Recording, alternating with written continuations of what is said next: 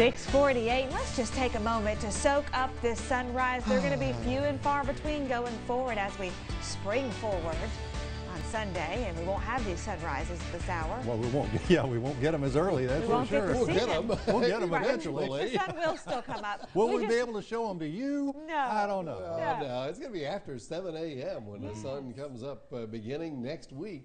It's weird. Yeah, it's weird. This whole It'll be about 7:05 though. Yeah. So you'll have some daylight by 6:30. a little bit. Meantime, enjoy what is going to be a wonderful weekend for the Festival of Flowers. yeah, even though the weekend's going to be an hour shorter, it's going to be a beautiful weekend, and it's going to be. We've been saying we're cranking up the Springfield just little by little each day, and today around 80 degrees in the afternoon. That that feels like spring. It really does. Now, today and tomorrow, and probably Sunday too, will all start with fog, but it should be gone by about 9 a.m. as the Festival of Flowers gets underway today in Cathedral Square. This is a new venue. If you are a big Festival of Flowers fan, and, and a lot of people are, this is one of the premier events of the Southeast. Uh, it's moved to Cathedral Square. It's all outdoors, and the weather couldn't be better. No, it's just going to be a great time to spend some time in downtown Mobile. I mean, you put a festival in downtown Mobile, and more importantly, the Festival of Flowers. That's just a good time. And this year, free.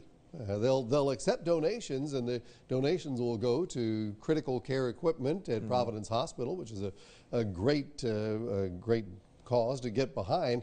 But uh, it is free to attend and to enjoy, and there's so much to do. And today, beautiful. And then afterwards, you got Loda Art Walk. Yeah, so you'll be able to hang out in downtown Mobile from 9 o'clock in the morning till 9 o'clock in the evening, get Loda Art Walk starting back up.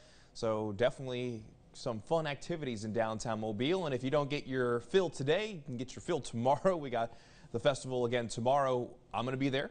You're going to be there. Yep. Come by and come say hi. Yeah, we, we would enjoy that. Uh, we'll be in the WKRG tent. I, I don't know how that's going to work this year with social distancing. I just don't know. It's all going to be new to me and, and probably you too. But uh, we can still visit. We'll find a way. All right, so uh, this is tomorrow. Just a carbon copy of today. Starts with fog, ends with partly cloudy skies. Yeah, and there might be a little bit of a higher chance of hitting 80 degrees in Mobile tomorrow. I mean, there's a good chance of it happening today, but tomorrow, even better chance. We'll see. Meantime, let's